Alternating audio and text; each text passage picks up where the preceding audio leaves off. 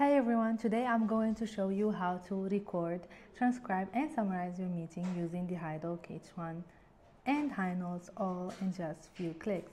So we already connected uh, our HiDock H1 and now we want to join our meeting.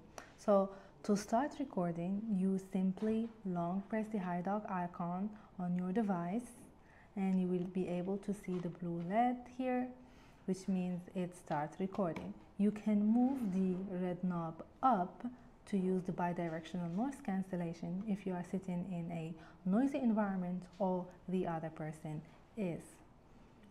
Once your meeting is over and you want to stop recording, you can simply long press again on the HiDock icon. Things done and you want to transcribe and summarize, you come here to uh, HiNotes website click here on HiDock icon then you look for your recording. This is the latest recording I have because I've already had my meeting and I can come here and choose a template.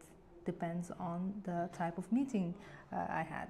For me I had a, a weekly team meeting. I will be choosing this one. And I can go ahead and transcribe and summarize. So now it's uploading it will take few seconds depends on uh, how long uh, is the meeting.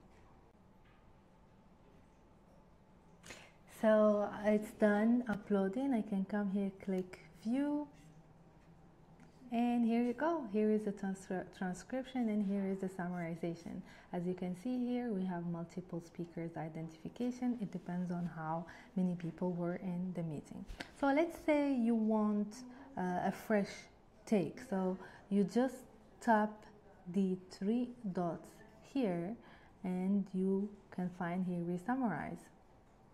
So you have choices between two AI engines, ChatGPT or Claude, and you also can choose a different meeting.